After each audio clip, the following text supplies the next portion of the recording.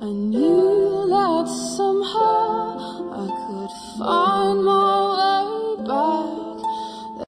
I knew that somehow I could find my